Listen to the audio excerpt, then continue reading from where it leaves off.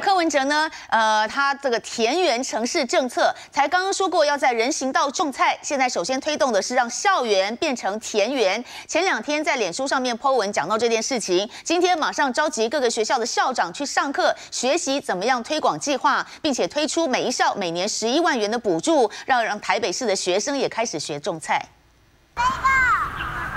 对啊，那个。满手泥巴，开心为小菜谱除去杂草，大自然的学习生动在眼前。在校园围墙外的是总统官邸、财政部、中正纪念堂。可是新政接下来就要让台北市的校园变得不一样。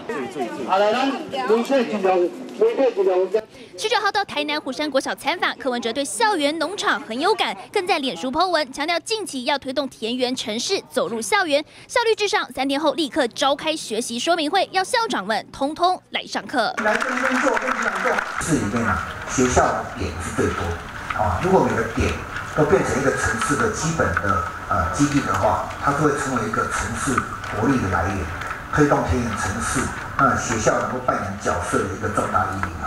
北市各校校长、老师认真听讲座，专心做笔记。未来台北市田园城市校园版开放申请到二月十号，每校每年可以补助十一万，让学生们开始学种菜。带着孩子，我们透过课程，透过长期的课程，每天做观察，这是最自然的、最呃生动活泼的课程。那些费用是还 OK，但是就是说，如果你真的要整地，有时候要维护，要一笔费用。人行道种菜还在规划，让校园变田园已经如火如荼展开。可是行政又一笔改变台北，要让整个城市都能种菜。这里李世健、黄渊采访报道。